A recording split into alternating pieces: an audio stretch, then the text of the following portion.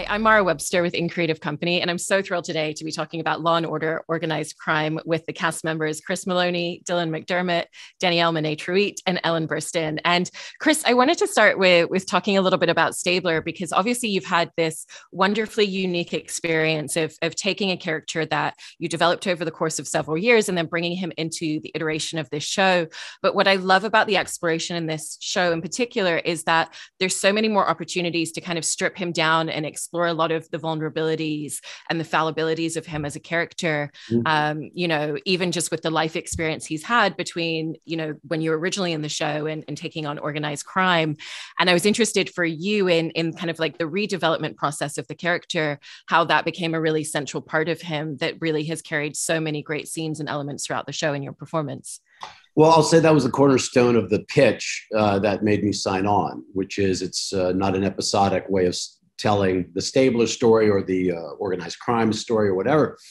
It was serialized, and I thought that gives you a lot of more, much more breathing room, a lot more space to explore uh, relationships and moments, and you know, it's just it was elbow room, it was breath, and I think, and I'm I'm uh, I couldn't agree more. And thank you for recognizing uh, how we're telling the stories of the organized crime unit and Stabler and you know all the characters. I, I just think it when you serialize it, when you give uh, the actors and the writers eight episodes to explore an issue and explore the dynamics of that issue and the characters involved and the relationships and behaviors, they just get a richer uh, storytelling process. And uh, so th- that's what we've done, and I'm pretty pleased with uh, the outcome.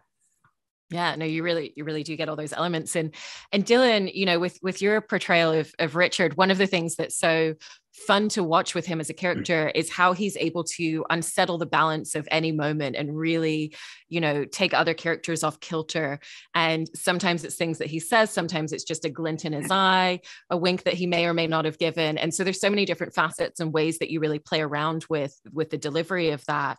Um, and i was really interested in you know in playing a character that's always thinking a few steps ahead and trying to throw everybody off balance a little bit how that informs the way that you approach scenes as an actor in, in coming in and trying to create that that type of energy in different ways for your scene partners.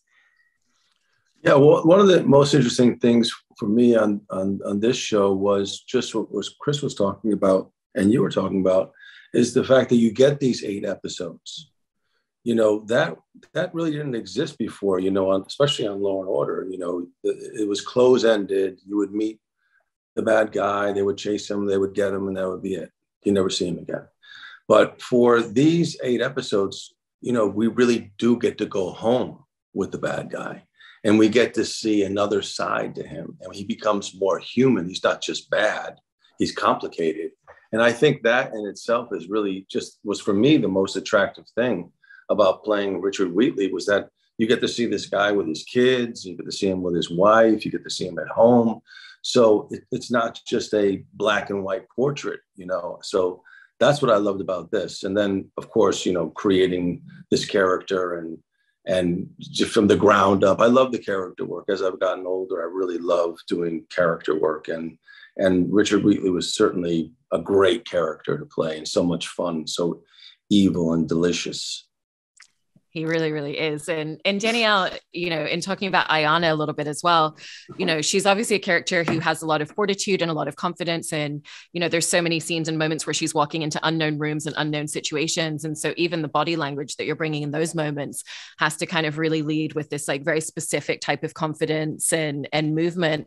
And then mm-hmm. there's also moments where she kind of goes into situations, sees that it's not what she thought. And so then it becomes this defensiveness. And I love watching the balance in your performance between those two spaces is like when she thinks she's showing up for a meal with her wife and and she's not there it's the congressman all of a sudden that very much kind of shifts the dynamic of the character and i was interested in in how you've really approached and enjoyed getting to play around with those dynamics because they live within the same world but bring different spheres to her yeah, um, I, I really enjoy that. I think it kind of goes back to what Chris and Dylan were saying about it being an eight episode arc. Um, and for me, of course, being in all 22 episodes and it being episodic, you know, you you get to delve more into the personal life, you know, these characters and the things that they experience, whether they have to do with their families or whether they have to do with the personal relationships within the task force. um, there's just much more breathing room, much more space, much more opportunity, you know, to develop who this person is, how they think, you know, maybe what things happened in their past that caused them to get defensive in this in in certain situations, you know. Um, so I'm I'm very grateful that it's not only the procedural in the task force stuff, but you get to see Ayanna, you know, outside of that and trying to figure out how to navigate this. You know, she she kind of just started the uh, organized crime task force like a few years prior, so she's kind of new in her position as well, and trying to navigate so many different things. Having you know Stabler, who's been on the force for forever, who has his way of doing things. Um, and then having Nova, you know, who's been undercover and navigating Brewster, and you know, just she literally is getting it from all sides. So it's really fun for me um, to be able to play around with the thing, those things and figure out, you know, how would she feel in this moment? How would she deal with this situation? absolutely and and ellen you know in talking about your performance um you know you're you're playing a character where there's a lot of moments where there's there's kind of facets of information that she's looking for. You know we see it right at the very beginning when she mistakes a young boy for being elliot or a moment where she forgets that elliot's wife has passed away. And i love I love your performance in those moments because we get to kind of see the processing of a character who knows that there's something a little amiss or that there's a piece of information that she's forgotten or is missing. And the way that you then kind of look for the information the truth that she can find right in front of her to like find that path back within her own mind. Um, and so i was really interested in in how you approach that that dynamic and, and relationship that she has in terms of of memory and truth and just finding the information when she doesn't have it right in front of her straight away. Yeah well it's a complicated thing because she's bipolar and she's on medication for that, which keeps her fairly steady. Um, but she also has a little bit of um, aging, you know, in her uh, in her brain, N- not not severe like Alzheimer's or something, but uh, you know, there's a, a process where she's um, losing it a bit. So uh, and then there are times when she's completely centered and straight and normal. Um, so finding that balance of when to go off and you know when the dementia is appearing and then when she's very centered um, interesting process and of course, working with Chris, it's just so much fun because he's such a good actor. You know, he's um, very present, and it's truly his show. I mean, he he's Mr. Bossman on that set. And, you said those lines. You said those lines wonderfully. Thank you, Ellen. yeah, well, you wrote them, you know. No, he he's really fun to work with. I, I love being on the show. And it's a complicated character. It's, uh, you know, the, sometimes she's totally present and sometimes she's not. I, I, I've been enjoying finding those, those moments when she's not yeah i mean it's it's such a fantastic performance to to watch all of those moments and and danielle and chris kind of coming back to the two of you and the dynamic between your characters you know i always think what's so interesting is when you look at all the situations and scenarios that they're thrown into together on the show the level of intrinsic trust that they have to have with one another is so unique within that environment. And they also exist in a world with one another where they are able to call each other out on things. Maybe Ayanna towards Stabler a little bit more than the other way around a lot of the time, um, you know, but it, it always comes from such a place of love and mutual respect and care that they have for one another. And I was interested in, in how the two of you, you know, especially going through the second season, worked to really build on all of the foundational elements of that relationship that you'd created in season one and to add, you know, even more aspects of, of that trust and that care as they come together even more? Uh, well, he's the boss, but I'm gonna go first. Yeah. Um, I think, well, like Ellen was saying, you know, Chris is pretty easy to work with. Like he's he is a great actor. He does care very much um, about the show. He cares about every aspect of the show.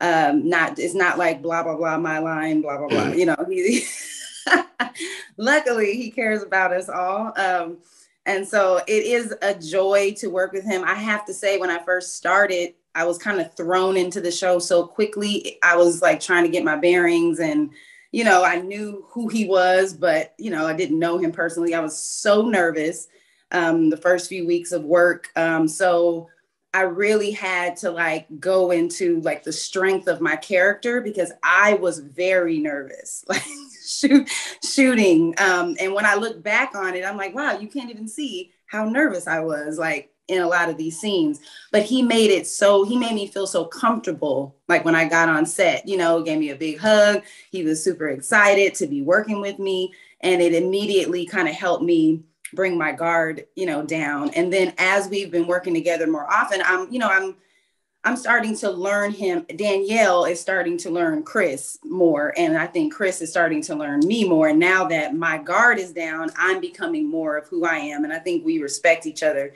And it shows in our performance, you know, on on screen.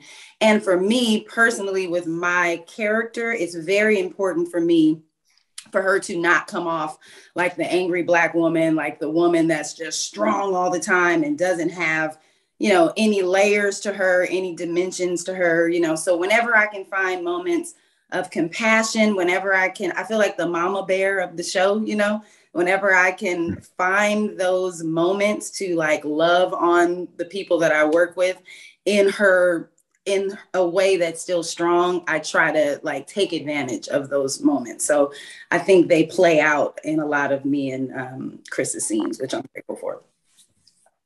Um, I'll just chime in here with this. You know, my take of, of your to, your to your question was I think Danielle and I, uh, our characters were written in such a way that we were we tiptoed into to develop a relationship, right? You know, she did. I was a white guy of a certain age, you know, kind of the old bold. Here was a black woman sergeant, you know, t- tasked with running uh, the the ship, you know, and and I, I, thought that was a very interesting dynamic, and I think there's more to that to explore. I think our relationship has evolved. Uh, I think there's more to explore there, um, and, and I I really think um, that Danielle's character is uh, in the coming season seasons, God willing, is ripe for a, a richer, deeper um, development. I, I, think that we've only just scratched the surface. Um, that's how I feel about it, and, and, and I'm very happy with the, how she and I play together. And you know, we work very hard at finding the moments that you know the the moments of coming together, the moments of doubt, or the moments of berating, or you know, and or, or when it's it's it's like confrontational. You know, these are all these are fun things to play, and they just make for you know richness of and dynamism. So there you go. That's how I feel. And, Can I answer the question? it does. And and similarly, you know, Chris and Ellen in talking about this this really beautiful mother son relationship on oh. screen. Um, I was interested in how you found some of the aspects in terms of where that that flips in terms of who's the parent in any given moment because even within singular scenes that changes you know it's like when stabler comes home and mm-hmm. she's smoking and it's like i'm just having one you know that he's becoming the parent in a lot of ways and it's not necessarily about him being a partial caretaker for her. It's just the dynamic of them being in a house together and and what happens is you know he's an adult now there with his adult mom. Um, and i was interested in how you went into a lot of scenes with a lot of playfulness with that dynamic in in the two of them kind of sparring off of each other because also a lot of the comedy that comes through between the two of you and the humor of of that relationship also comes from those moments. Well we play we play together. But we, um, but we work hard to find that play, right? I mean, in every scene, you and I really try to navigate what what we're doing. What what's what you know. What are the straits that we're navigating through? Don't you don't you agree with yeah, that?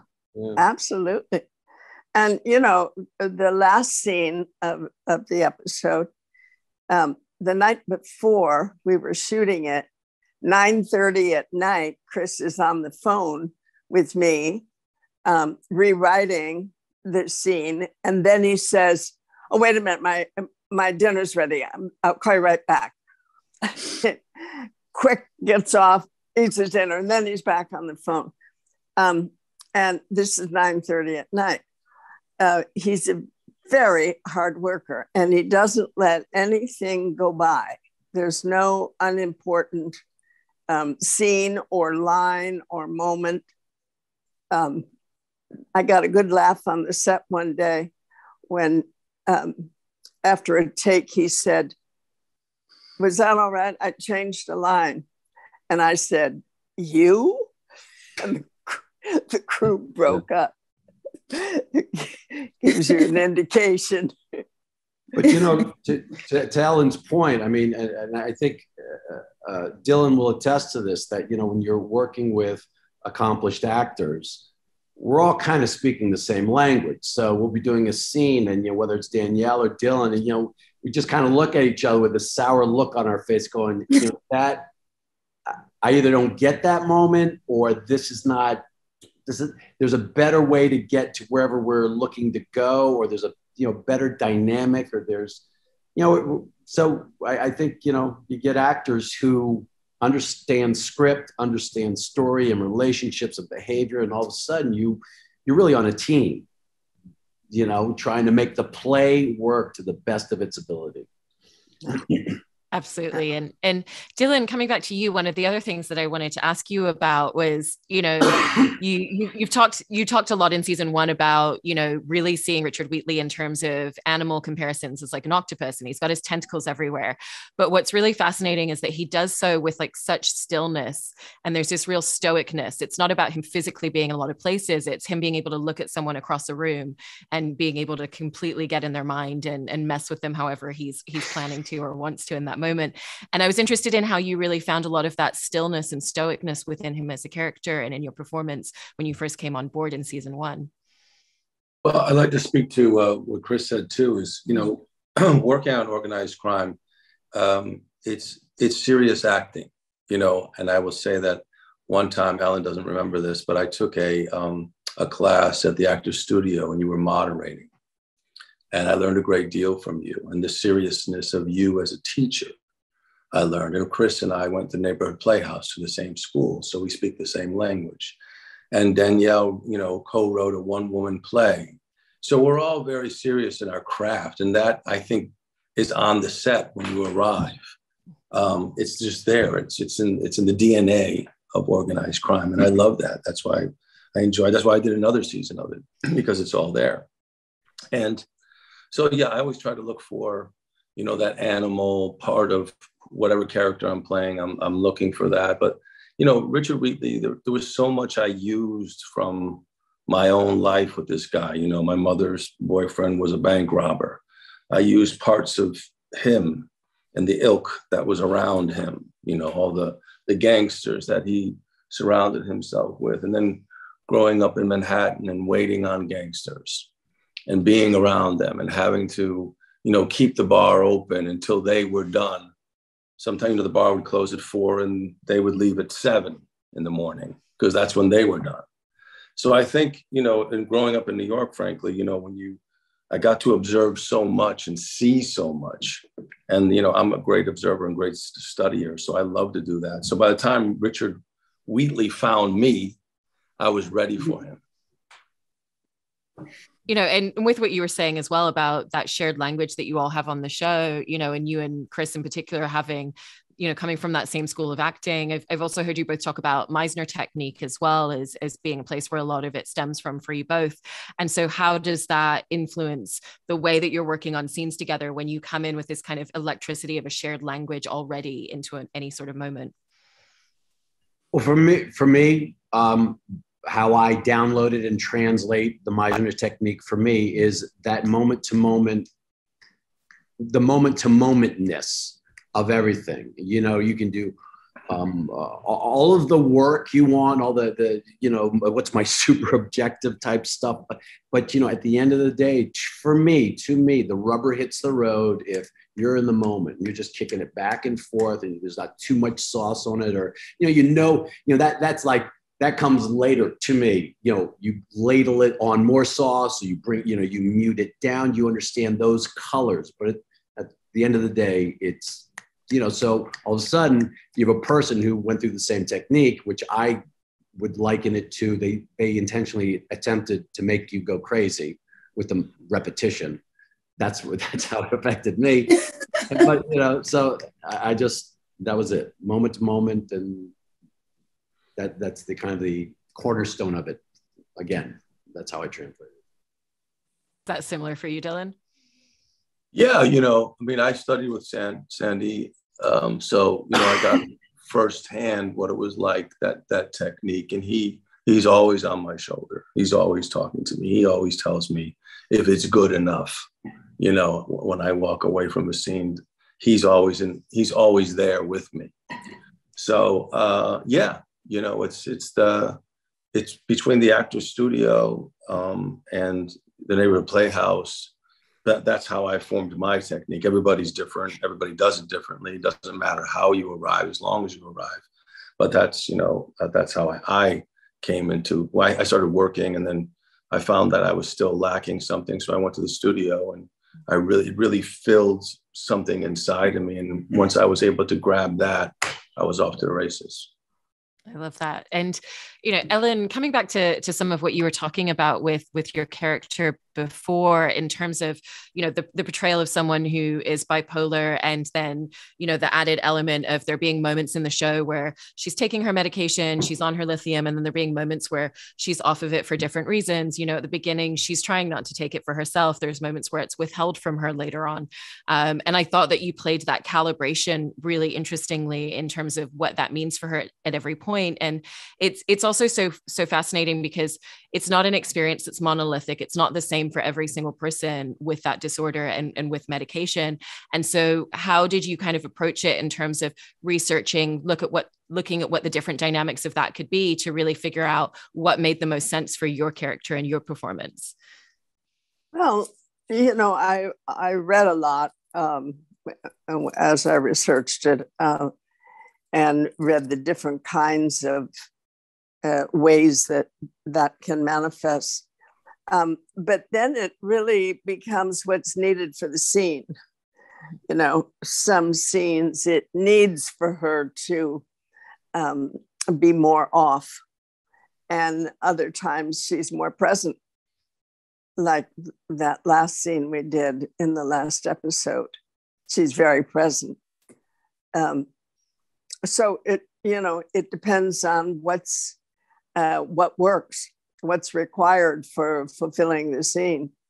And that usually presents itself in, in a pretty clear way. Yeah. I, I think that's so interesting in terms of your performance with those scenes. It's so great to watch. And and Danielle, you know, I've heard you say that that with with this show in particular, that one of the challenges is, you know, when you're when you're doing these kind of three chunks of eight episodes as a whole season, that one of the challenges is how to make sure you're always doing something different how to make sure you're always finding something new in terms of the character and and obviously there's always new situations scenarios scenes elements that you're getting about your character to add on to that foundation. But also it's you know when they're having similar scopes of conversations or assessing information or interrogating someone how to make that always feel different. And so in the journey of working on the show for a couple of seasons now what have you found to be the answer for yourself in in how to always make sure you're accomplishing that um, well, I mean, some of it is a little bit more technical. Sometimes we have to sit down and actually go through the scene and make sure like that it makes sense to where the character is at the specific point that we're at uh, in the series. Like, you know, how many times has she said this sentence? how many times has she had this idea that she's expressed to Stabler? Is it necessary for us to say it again? You know, is there something new we can say? Uh, I think that's why I love our show is because it is a collaborative effort. You know, there's a lot of other shows where you don't get that element of collaboration, you know, between the different departments working together to make it as good as it can be. Um, I think the other thing that helps is to actually like have an emotional life for your character. We all know in real life, before we came on this Zoom, there were things we were dealing with, things we were talking about, things we experienced before we got on the Zoom that um, it helps uh, what's the word? I'm sorry. Um, whatever we're doing in our emotional life basically has it shows up in whatever we're choosing to do at the moment. So I'm doing a Zoom, but before I was doing a Zoom with you guys, I was having a conversation with, you know, this person about this. And it informs my attitude, it informs my spirit, my energy, and all of that informs what I'm doing right now. Um, and I think I try to, my process as an actor is all about thought, like the thought life of, um, of a character. Um, and like Chris and Dylan were saying, the moment to moment. And so, you know, when I'm having a certain conversation, like there was a scene with me and Chris where I was telling him, like, you know, there's so many things I have going on that you don't even know about. And I don't get to escape from my life just because I have other stuff, you know, happening that I don't want to deal with. I don't get to go undercover and hide from those things, you know. And so she's not just talking about work, you know, she's talking about being a new mother. She's talking about being a wife and navigating her career and personal life. She's talking about the challenges of even being in the position that she's in there's just a whole lot of stuff that goes behind every interaction that goes behind you know uh, everything that i'm saying to these different characters and then i think you know like it's working together you know sometimes there's things i don't see in the scene that chris is like hey have you thought about this? And i'm like oh that's a, that's great you know? And so you know we play around you know? And like like they were saying before it's all about playing. You don't ever come to work or at least I don't, I can't speak for everyone else, but I never come to work and say, this is how I'm going to do this scene. I don't know how I'm going to do the scene until we get together and we start working it out, you know, and then most of the time it ends up better than we ever even thought it would be in the first place. Um, you know, and coming back to you, Chris, um, I wanted to ask a little bit about the the calibration of your performance and the pacing of Stabler's energy based on who's in his world, because it's so different depending on which character it is. You know, when he's undercover, when he's in the field, there's this real kind of surge of adrenaline that he relies on. Um, you know, when he's with Wheatley, it's very much about him trying to, you know, read situations as fast as he can, read everything around him to play catch up with whatever breadcrumbs have been left for him. You know, and then when you share scenes with Mariska, it feels like both of their worlds kind of really slow down for a moment because they don't have to kind of put a face on for one another. They don't have to say a lot of things. They've got this real internalized dialogue that the two of you have obviously created over several years.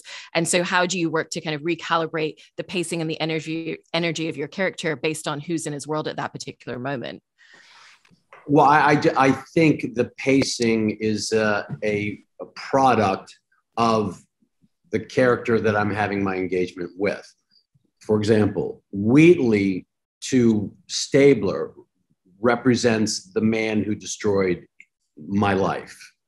You know, he took my wife. He he caused uh, catastrophe. So you know, Stabler's sense of justice is now a personal issue, and it's so uh, you know, uh, to Dylan's point about uh, the animal aspect of it. I mean, I think what you see is these two animals looking to tear each other limb from limb.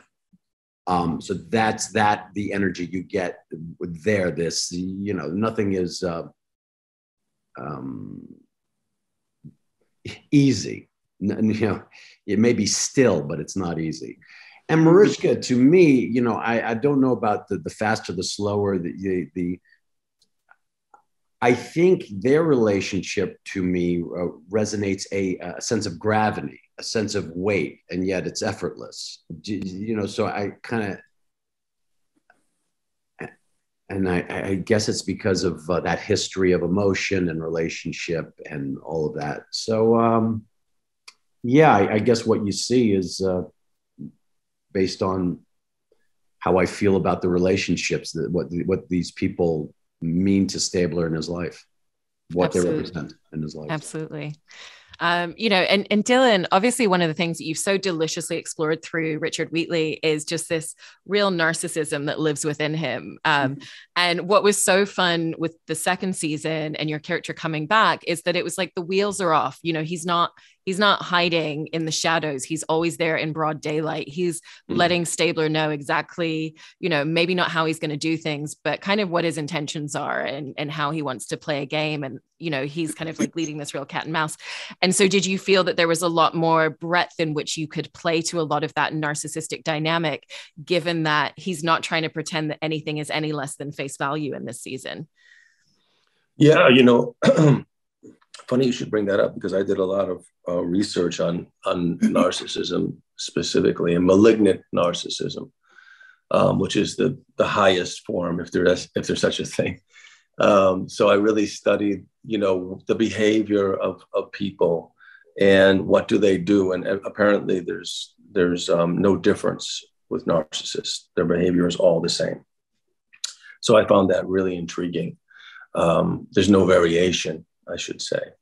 So uh, I did a deep dive on that in terms of Wheatley and and, and uh, watched all these uh, YouTube videos on on um, people and their behavior and their psychoses. Um, so that really helped me. And and then, as you said, Wheatley wasn't trying to hide anything more anymore. He was who he was. And again, that was so fun to play because there was there was no holes barred. You know, it was just like I'm going to do exactly what I want to do and be exactly who I am, and there's not going to be um, any remorse inside of me. And I thought that it was like, wow, what a what a way to live and, and to operate. So that was uh, again, you know, I love to do research. I love to talk to to real people and sit down and pick people's brains and find out, you know, what they eat and how they walk and how they talk and all that stuff is fascinating to me. Is why that's why I love acting. It's kind of like being a detective. You know, there's something about that whole process that turns me on. Yeah. Well, I really appreciate all of you sharing so many in-depth details. There's so many, you know, complexities and details that go into every single nuanced aspect of your performances in the show. So it's really fascinating to hear all the behind the scenes of that. And thank you so much to to the four of you. Thanks so much for your time today. Thank, thank you. you.